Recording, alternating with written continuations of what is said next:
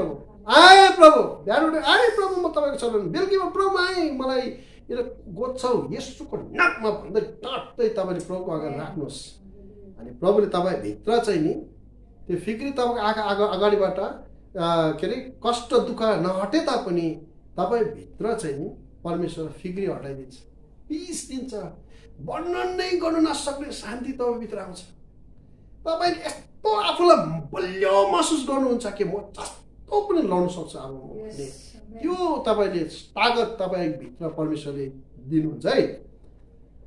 Okay Matthew छको reference मात्रै दिएको मत्ती छको पच्चिसदेखि चौतिस पढ्नुहोस् घरमा। अनि तपाईँले फिलिपी दुई क- चारको छ अनि सातमा यो कुराहरू पाउनुहुन्छ हेर्नुहोस् है। हाम्रो दुःख कष्ट हटाउन सक्दैनौँ होला अहिले निस्कि तुरन्तै नहट्ला तर हाम्रो फिक्री चाहिँ हटाउनुहुन्छ प्रभुले वा प्रभुलाई हामी धन्यवाद दिन चाहन्छौँ। आगे दोस्रो पोइन्टमा हामी त्यो तेस्रोमा हेर्नेछौँ। त्यो चाहिँ हो सचेत रहो अनि जागा रहो। सबले भन्नुहोस् के अरे? सचेत रहो अनि जागा रहो। यो थर्ड पोइन्ट चाहिँ। सेकेन्ड पोइन्ट हाम्रो सारा फिक्री उहाँमा राख्नु। हाम्रो कष्ट पीडा दुःख सबै प्रभुको अगाडि राख्नु। हामी तेस्रो पोइन्टमा चाहिँ सचेत रहो र जागर रहो। यो कुरालाई हामी धेरैचोटि यो शिक्षामा नबुझ्दाखेरि नि हामी समस्यामा अझै गइदिँदै जान्छौँ। समस्यामा हामी खत्तम भएर गइरहेको हुन्छौँ। यस कारणले गर्दा म आज तपाईँलाई यो भन्न चाहन्छु परमेश्वरको वचन पहिलो पत्रुस पाँचको आठले भन्छ सचेत रहो जागा रहो। तिमीहरूको विरोधी शैतान कसलाई भेटौँ र निलिहालौँ भनेर गर्जने सिंह जस्तै खोजेर हिँड्छ। हेर्नुहोस् त। यो कुरालाई हामीले ध्यान दिनुपर्ने कुरा छ। होसियारी दिलाउँछ प्रभुले। अब एलर्ट हुनुहोस्। तपाईँको आँखा पनि ठुल्ठुलो छ यति बेला। कान ठाडो है। यो वचन सुन्दाखेरि प्रभुको वचन जागर हो। हेर्नुहोस् सचेत रहो अनि जागर हो। ख्रिस्ट येसुको सेवा गर्दाखेरि चाहिँ हामी सचेत अनि जागा हुनुपर्छ। आज तपाईँ जतिजना प्रभुको छोराछोरीहरू चाहिँ नि भनेर बस्यो भने चाहिँ शैतानले हामीलाई लडाइदिइहाल्छ तर आज तपाईँ अनि म चाहिँ प्रभु येसुको छोराछोरीले चाहिँ प्रभुले हामीलाई सिकाउनु चाहेको के हो र तिमीहरूको विरोधी शैतान छ है? शैतान शक्तिशाली छ। शैतान चाहिँ अ, तिमीहरू भन्दा चाहिँ कयौँ गुणा बलियो छ भनेर चाहिँ परमेश्वरको वचनले हामीलाई बताएको छ। शैतानलाई हल्का लिनु मिल्दैन। हामी बाइबलमा एउटा व्यक्ति पाउँछौँ जसले शैतानलाई हल्का लियो। त्यो मान्छेलाई शैतानले परीक्षामा लडाइदियो। तपाईँलाई थाहा छ? त्यो व्यक्ति चाहिँ प्रभुको आफ्नै चेला हो। अनि त्यो चेला चाहिँ पत्रुस थियो। पत्रुसले यो त्यसै लेखेको होइन। पत्रुसले पहिलो पत्रुसको पत्रहरू त्यसै लेखेको होइन। उसको जीवनमा यस्तो डरलाग्दो तितो अनुभवबाट जानु पर्यो। अनि ती त्यो तितो अनुभव चाहिँ के हो भन्दाखेरि पत्रुसले चाहिँ शैतानलाई हल्का लिएको थियो। परमेश्वरले पत्रुसलाई चुनेको व्यक्ति भए तापनि प्रभुको नजिकमा रहे तापनि पत्रुसले शैतान हल्का लिँदाखेरि शैतानले पत्रुसलाई गिराइदियो लडाइदियो भने त्यो पनि केमा लडाइदियो भनेदेखि तिनपल्ट इन्कार गर्नु लगायो। Three times he rejected Jesus है प्रभु येसुलाई चाहेको समयमा तिन तिनपल्ट इन्कार गर्नु लगायो। अनि पछि उसलाई के हुन्छ भन्दाखेरि नि परमेश्वरको पवित्र आत्माले उसलाई याद दिलाउँछ पश्चाताप गर्नु लाउँछ। फर्क अब। अनि बाइबलमा हामी के पाउँछ भन्दाखेरि पत्रुसले जब पश्चाताप गर्यो बाइबलमा लेखेको छ है पत्रुसले जब पश्चाताप गर्यो पत्रुसले पश्चाताप गरेपछि चाहिँ परमेश्वरले पत्रुसलाई पत्रुसको पापलाई क्षमा गरेपछि पत्रुसले त्यो दिनदेखि चाल पायो कि आज म चाहिँ जहिले पनि सचेत रहनुपर्ने रहेछ म जहिले जागा रहनुपर्नेछ। आज मेरो इसाई जीवन चाहिँ सचेत अनि जागा रहनु। एउटा नि वाचम्यान जस्तै एउटा पाले जस्तै कहिले नसुत्ने है? त्यहाँ केही हुनसक्छ नि त। त्यस्तै आज इसाई जीवनमा पनि हामी जहिले पनि एलर्ट हुनुपर्छ। एकदमै एलर्ट हुनुपर्छ। अनि त्यस गर्दा प्रभुको वचन छ पहिलो पत्रुस पाँचको हामीले तेह्रमा के पाउँछौँ तपाईँ पढिदिनुहोस् यहाँ।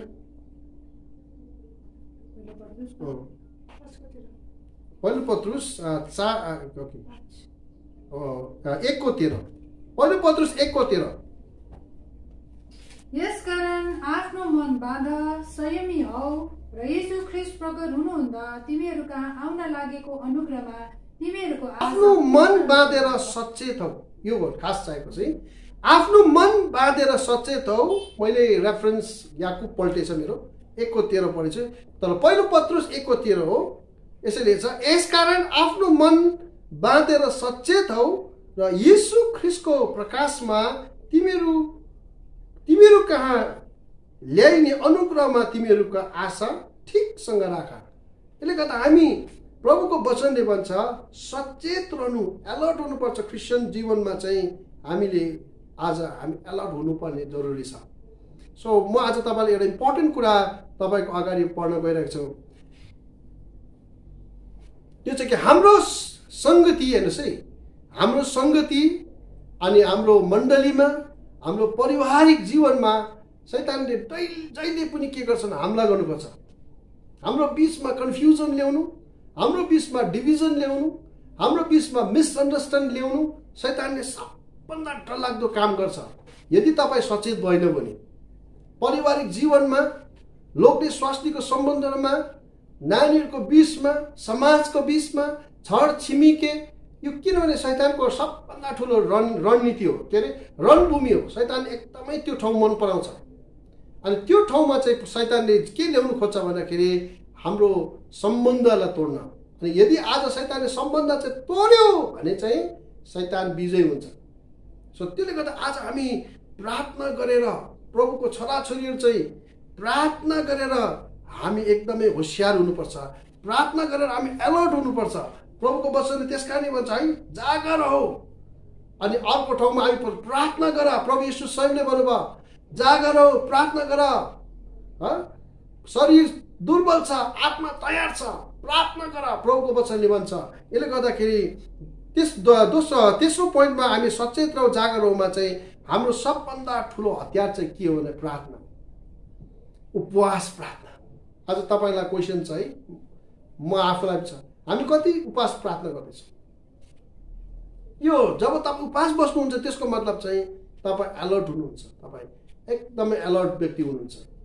तपाईँ बिहान उठेर प्रार्थना गर्नुहुन्छ। त्यसको मतलब चाहिँ तपाईँ अलर्ट हुनुहुन्छ सचेतमा हुनुहुन्छ। अनि तपाईँ आराधना गर्नुहुन्छ त्यसको मतलब तपाईँ सचेत हुनुहुन्छ। तपाईँ केही खाँदा तपाईँ प्रार्थना गर्नुहुन्छ त्यसको मतलब तपाईँ अलर्ट सचेत हुनुहुन्छ। आज इसाई जीवन यस्तो आज परमेश्वरले माग्नुहुन्छ हर समय हामी प्रार्थना हर समय प्रभुको अगाडि प्रार्थना हर समय प्रार्थना। यो सम्झेर कि आज लडाइँ छ। आज लडाइँ छ। इबिसीको पत्रमा जब तपाईँले हेर्नुहुन्छ भने नि आज शैतान चाहिँ हाम्रो आफ्नो बुद्धि र ज्ञानले शैतानलाई हराउन सक्दैन है। किनभने शैतान पनि बलियो छ। र परमेश्वरको पुत्र यसुलाई त उसले परीक्षामा पार्यो भने तपाईँ अनि मलाई पनि परीक्षामा पार्न सक्छ।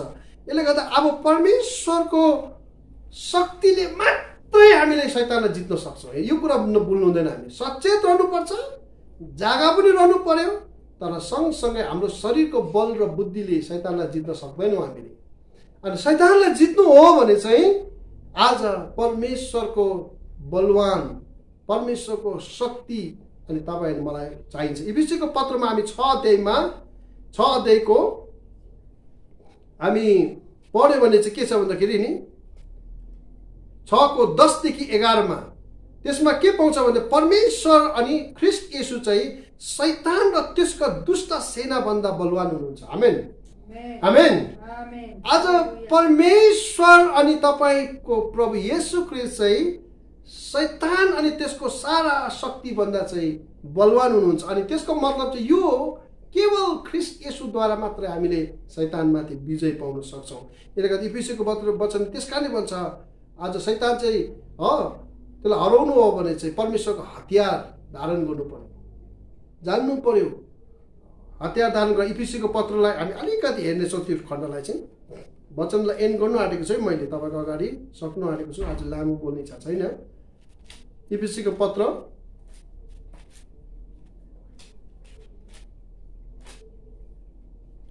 छ। यस कारण के प्रभुको वचनले भन्छ छको दसदेखि पढ्दैछु अन्तमा प्रभुमा र उहाँको शक्तिको सामर्थ्यमा बलवान हो। शैतानको युक्तिहरूको विरोधमा खडा हुन सक्नलाई परमेश्वरको सारा हात हतियार धारण गर। हेर्नुहोस् त यहाँ प्रभुको वचनले भन्छ शैतानको युक्तिहरू युक्तिहरूको विरोधमा खडा हुन सक्नलाई परमेश्वरको सारा हात हात हतियार धारण गर किनकि हाम्रो यो लडन त यो बुझ्नुपर्छ। किनकि हाम्रो यो लडन त मानिसहरूको विरोधमा होइन। तर प्रधानताहरू तर प्रधानताहरू अधिकारहरू यस अन्धकारका संसारिक शासकहरू र स्वर्गीय स्थानहरूमा दुष्टका आत्मिक सेनाहरूको विरोधमा हो। यसै कारण परमेश्वरको सारा हात हातहरू उठाऊ। र खराब दिनमा सामना गर्न र उहाँको काम गरेर खडा हुन सक्ने हो। यसै कारण आफ्नो कम्मर सत्यताले कसेर धार्मिकताको छाती पाता लिएर खडा हो औ खुट्टामा मिलाएको सुसमाचारको तयारीको जुत्ता लगाऊ। ती बाहेक विश्वासको डाल उठाऊ जसबाट तिमीहरू दुष्टका सबै अग्निबाण निभाउन सक्ने हुनेछौ। औ मुक्तिको टोप ल्याऊ आत्माको तरवार जो चाहिँ परमेश्वरको वचन हो अठारले भन्छ सारा प्रार्थना र अन्तर्विन्तीबाट हर समय आत्मामा प्रार्थना गरेर यसैमा सारा पवित्रहरूको पवित्र जनहरूको निम्ति सतर्फ भएर खुरनदार अन्तर्विन्ती गर। आमेन त आज परमेश्वरको वचनले भन्छ जागा रहेर मात्र होइन। तर प्रभुको वचनले भन्छ जागा मात्र होइन। तर हाम्रो लडन्त चाहिँ हामीले थाहा पाउनुपर्छ। हाम्रो विरोधमा हामी कसको विरोधमा छौँ हामी? आज शैतान अनि त्यसको अनुयायीको विरोधमा छ। अनि त्यो चाहिँ सजिलै हामी जित्न सक्दैनौँ। त्यसको लागि चाहिँ मैले अघि भने ख्रिस्ट यसु अनि परमेश्वरको शक्तिले मात्र हामी शैतानलाई विजय पाउन सक्छौँ। अनि त्यसमा मैले अघि भने परमेश्वरको जब बलवान बाहुली मुनि आफूलाई हामी नम्र तुल्याउनु नि के हो? परमेश्वर तपाईँ मेरो पक्षमा लडिदिनुहोस् भन्नुभयो। भएको नि त। प्रभु म तपाईँको बलवान बाहुली आएँ। तपाईँ लड्नुहोस् उठ्नुहोस् जागा हुनुहोस् खडा हुनुहोस् लडिदिनुहोस् भनेको नि त हामी प्रभुलाई। अनि अब यस कारणले प्रभुको वचनले सबैभन्दा ठुलो हामीले आफ्नो हात हतियार चाहिँ उठाउनुपर्छ। अनि त्यो हात हतियार चाहिँ के हो भन्दाखेरि सबभन्दा शक्तिशाली हात हतियार चाहिँ प्रार्थना हो। अनि बाइबल हो। बाइबल अध्ययन। प्रार्थना। बाइबल अध्ययन। प्रत्येक बिहान म तपाईँलाई पठाउँदैछु। प्रत्येक बिहान बाइबल स्टडी थ्री हन्ड्रेड डेजको बाइबल स्टडी हुँदैछ। प्रत्येक बिहान म तपाईँलाई पठाउँदैछु साढे पाँच बजी बिहान। पढ्नुहोस् तपाईँले। जब परमेश्वरको वचन पढ्छ शैतान तपाईँबाट भाग्छ। परमेश्वरको वचन तपाईँभित्र जब खिल्न थाल्छ परमेश्वरको वचनले काम गर्न थाल्छ शैतानको कुनै युक्ति तपाईँको विरुद्धमा चल्दैन प्रियो। सो यसले गर्दा परमेश्वरको वचन आत्माको तरुवार आज यो परमेश्वरको वचनले भन्छ त्यसरी हामीले लडन त लड्नुपर्छ। शैतान चाहिँ एउटा गर्जिने सिंह जस्तै छ। अनि त्यो चाहिँ परमेश्वरबाट हेर्नुहोस् है परमेश्वरले बाँधेका छन् शैतानलाई तपाईँले याद गर्नुहोस् है शैतानले आफै जबरजस्ती तपाईँलाई मार्नु तपाईँलाई बर्बाद गर्न सक्दैन शैतानले कहिले पनि। शैतानले दुई किसिमले हाम्रो जीवनमा आक्रमण गर्न सक्छ। एउटा चाहिँ हो यदि तपाईँ आफैले अनुमति दियो भने शैतानले तपाईँलाई बर्बाद गरिदिन्छ। तपाईँलाई नाश पार्न सक्छ शैतानले। अर्को चाहिँ जबसम्म परमेश्वरको हात तपाईँको जीवनमा छ शैतानले तपाईँलाई कहिले पनि छुन सक्दैन। अनि बाइबलले दिएको छ आयुबको जीवनमा हामी एउटा हेर्छौँ आयुबको जीवनमा शैतान अनुमति माग्नु परेको छ। यदि तपाईँले अनुमति दियो भने मात्रै म छुन सक्छु। ऊ त तपाईँको मान्छे हो तपाईँको नजरको मान्छे कसरी छुनु? शैतान डराएको छ। त्यस्तै प्रकारले आज तपाईँ चाहिँ प्रभुको हो शैतानलाई डर छ। यो व्यक्तिलाई छुयो भने चाहिँ म बर्बाद हुन्छु भनेर शैतानलाई पनि थाहा छ। अनि यसले गर्दा जब तपाईँ जब जब तपाईँ परमेश्वरको डर मान्नुहुन्छ परमेश्वरको अधीनमा बस्नुहुन्छ नि त्यति बेला शैतानलाई थाहा छ यो मान्छे चाहिँ प्रभुको यो मान्छेलाई म छुन सक्दिनँ। यसले परमेश्वरको वचन पढ्छ यसले प्रभुको डर मान्छ यसले प्रार्थना गर्छ यो शक्तिशाली हो यो मभन्दा। म यसलाई छुन सक्दिनँ किनभने यसको पक्षमा लड्ने चाहिँ परमेश्वर हुनुहुन्छ। यसको यसको साथमा चाहिँ परमेश्वर हुनुहुन्छ। यसले गर्दाखेरि शैतानले छुन सक्दैन। आयुबको साथमा परमेश्वर थियो। त्यसले गर्दा आयुबलाई शैतानले छुन सकेन। अनुमति लिएर मात्र शैतानले छुन सक्यो। यस कारणले आज म तपाईँलाई यही भन्न चाहन्छु त्यो जति नै घर्जेको सिंह भए तापनि त्यो जति नै हामीलाई लडाउनु खोजे तापनि हाम्रो प्रभु चाहिँ विजयी भन्दा पनि विजय हुनुहुन्छ। किनभने शैतानको सारा शक्ति त्यो त्यसको हर कुरा चाहिँ आज पर ख्रिस्ट यसुको पैतालो मुनि प्रभुले कुल्चिनु भएको छ प्रिय यसु ख्रिस्ट जब मृत्युबाट बौरी उठ्नु भयो नि शैतानको शिरलाई उहाँले कुल्चिएर चाहिँ उहाँ बौरी उठ्नु भएको छ। अनि बौरी उठ्नु भएको यसु चाहिँ आज तपाईँको साथमा हुनुहुन्छ प्रिय यसले गर्दा म आज तपाईँलाई यही भनेर वचनलाई अब एन्ड गर्न गइरहेको छु। इट्स भेरी भेरी इम्पोर्टेन्ट हामी नम्र हुनु। अति नै आवश्यक छ। नम्र चाहिँ एउटा लाइसेन्स जस्तै पनि हो। परमेश्वरलाई हाम्रो जीवनमा काम गर्न दिनु। जब तपाईँ परमेश्वरलाई अगाडि नम्र हुन्छौँ नि प्रभुले तुरन्तै तपाईँको जीवनमा काम गर्न थाल्छ। यसले गर्दा हामी आफूलाई होचौँ। प्रभुको अगाडि होचिने छौँ। सो म आजको वचनलाई अलिकति हाइलाइट गर्न चाहन्छु। पहिलो पोइन्टमा हामीले हेरि हेरिरहेका थियौँ परमेश्वरले अहङ्कारीलाई विरोध गर्नुहुन्छ तर नम्रलाई उहाँले अनुग्रह गर्नुहुन्छ। हामीले त्यो पोइन्टमा हेऱ्यौँ। दोस्रो हामीले हेऱ्यौँ सचेत रहनु हर समय जागा रहनु भन्ने कुराहरू परमेश्वरको वचनबाट हामीले हेरिरहेको थियौँ प्रिय। र हामी प्रभुलाई धन्यवाद दिन चाहन्छौँ अनि अर्को चाहिँ हामीले हेरिरहेको थियौँ साथमा है दोस्रो पोइन्टमा हामीले के राखेको थियौँ भने साथमा सारा फिक्री उहाँमाथि राखिदिउँ किन उहाँले हाम्रो फिक्री गर्नुहुन्छ। यो पोइन्टलाई हामीले दोस्रोमा तेस्रोमा हामी सचेत रहौँ अनि जागर रहनु यसमा हामीले हेरिरहेका थियौँ कि हाम्रो विरोधी शैतान पनि हल्का लिनु हुँदैन। तपाईँ परमेश्वरदेखि टाढो भयो भने त्यसले लडाइदिइहाल्छ तपाईँलाई। जब तपाईँको प्रभुको नजिकमा बस्नुहुन्छ शैतानले फेरि छुनै सक्दैन। यसले गर्दा यो इम्पोर्टेन्ट हो। अनि अहिले हामीले इफिसीको पत्रबाट हेर्दै गरेको त्यो पनि नबिर्सिनुहोस् है। हाम्रो लडन त चाहिँ साँच्चै प्रभुले देखाएको तिमीहरूको शत्रु को कोही बेला हाम्रो विवाह हाम्रो दाजुभाइ साका सन्तान छर छिमेकी हाम्रो दुश्मन देख्छ। त्यो उहाँहरू त परमेश्वरको स्वरूप हामी जस्तो मान्छे हो नि त। त शैतानले हाम्रो दिमाग के हाल्छ तेरो शत्रु चाहिँ उति फल्दा है। तेरो शत्रु चाहिँ एनिमी चाहिँ उति भाइ हो भाइ भाइमा त के हो तिम्रो भाइलाई घृणा गऱ्यो भने त भेटी पनि नहाल्नु पर्ने छ भाइमा त। हाम्रो मान्छे जाति चाहिँ हाम्रो कोही दुश्मन छैन। तर हाम्रो दुश्मन चाहिँ को शैतान हो। मान्छेलाई चाहिँ शैतानले चलाउन सक्छ नि। तर त्यो शैतानलाई चाहिँ विरोध गर्नु पर्यो यो कुरा चाहिँ परमेश्वरको वचनले हामीले सिकाउँछ सबले भन्नु छ सचेत रहौ जागर रहौ। सचेत रहौ, अनि जागर रहौ। यस क्रममा चाहिँ प्रार्थना उपवास आज हामीले कन्टिन्यू गर्नुपर्छ। आउनुहोस् हामी यति बेला छोटो प्रार्थना गर्नेछौँ। प्रभु म तपाईँलाई धन्यवाद दिन चाहन्छु। हाम्रो जीवनमा धेरैचोटि ओ प्रभु चोट लागेका भत्किएका जीवन कोही बेला हामीलाई यति साह्रो हामी रिजेक्टेड फिल गर्छौँ। तरै पनि प्रभु तपाईँ हाम्रो प्रभु हाम्रो परमेश्वर हामीलाई बोकेर हिँड्नु पर्नु हुने परमेश्वर हाम्रो आँखाबाट आँसु पुज्नुहुने परमेश्वर आज तपाईँले हामीलाई साँच्चै नै तपाईँको जीवित वचनबाट तपाईँले हामीलाई सिकाउनु भएको लागि धन्यवाद। आज तपाईँले नम्रमाथि चाहिँ तपाईँले अनुग्रह गर्नुहुन्छ। घमण्डीलाई तपाईँले विरोध गर्नुहुन्छ। प्रभु हामीले नम्र हुन सिकाउनुहोस् प्रभु। हामी आफूलाई हम्बल हुन प्रभु हामीलाई सिकाउनुहोस् प्रभु। अनि हामीलाई हाम्रो सारा फिक्री चाहिँ तपाईँ कहाँ राख्न प्रभु आज हामीलाई सिकाउनुहोस्। अनि यसमा दुःख कष्ट हुन्छ प्रभु। कोही बेला दुःख कष्ट नहटेको जस्तो लाग्छ। तर जब हाम्रो हाम्रो कष्ट दुःखहरूलाई तपाईँ अगाडि ल्याउँछौँ भने तर हाम्रो भित्रबाट हृदयबाट फिक्री चाहिँ तपाईँले हटाइदिनुहुन्छ। कति ठुलो आशिष हाम्रो लागि छ। प्रभु यति बेला म प्रार्थना गर्छु कतिजनाको मनमा फिक्री भइरहेको होला। त्यो दुःख कष्टले गर्दा पीडाले गर्दा आज मनमा फिक्री सुत्नु नसक्ने टेन्सन भइरहेको होला। यति बेला तपाईँले त्यो हटाइदिनुहोस् तपाईँले प्रभु। त्यो फिक्रीलाई यसुको नाममा दूर गरिदिनुहोस् तपाईँले प्रभु। हालै लुया प्रभु तपाईँले। तर तपाईँले आज शान्ति हालिदिनुहोस् अनि परमेश्वर फिक्रीलाई तपाईँ दूर गरिदिनुहोस् भन्ने म प्रार्थना गर्दैछु।